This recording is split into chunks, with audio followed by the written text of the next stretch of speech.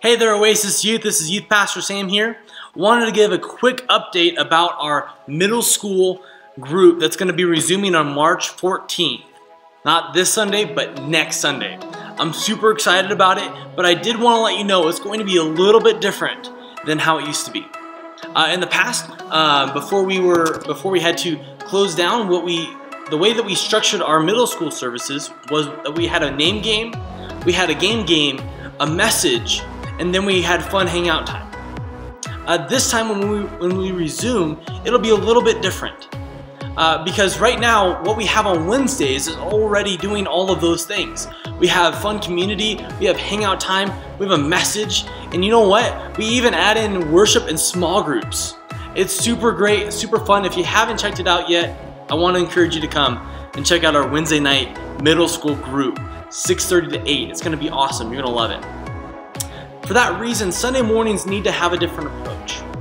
We don't want to do the same thing two times a week. What we want to do is we want to have one, one area where you have an opportunity to invite your friends, to invite them to know Jesus, to invite them to this group that we've been growing, and to let them know more that they're loved at this church. We also want to have a place to just have fun, play games, grow in community with one another, and dive deep in worship and in small groups. But for Sunday mornings, we want to take a we want to answer this question. What do we believe? Yeah, we can we can pull up a Bible and we can say, what is the Bible saying? And that's what we're going to do on Wednesday nights frequently. But what do we believe as Christians?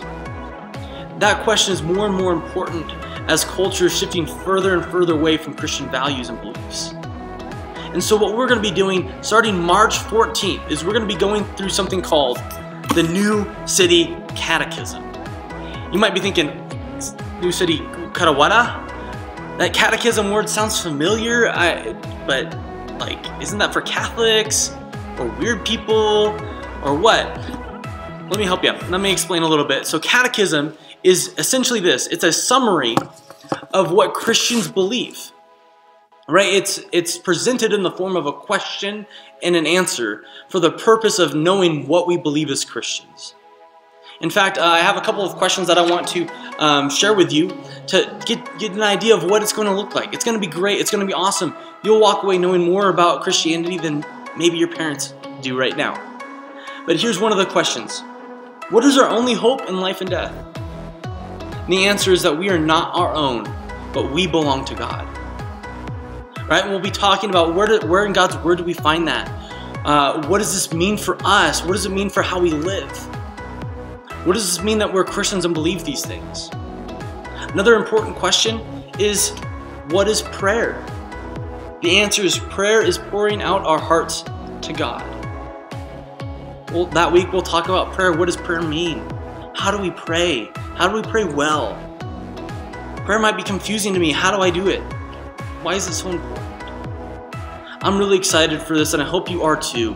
My, my hope is that as that when you graduate from middle school to high school, that you will already have this foundation of this is what I believe because I'm a Christian.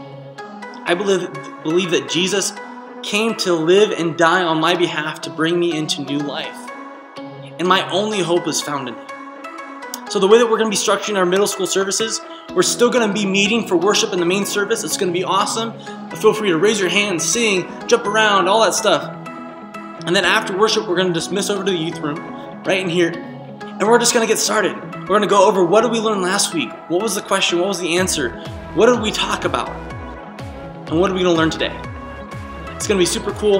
Uh, and if there's time at the end, we'll get to hang out, have fun, connect, follow up, see how life is going. So I'm really excited about it. I hope, I hope that you are too. If you've ever wondered, what do we believe as Christians? I'll see you March 14th as we get started.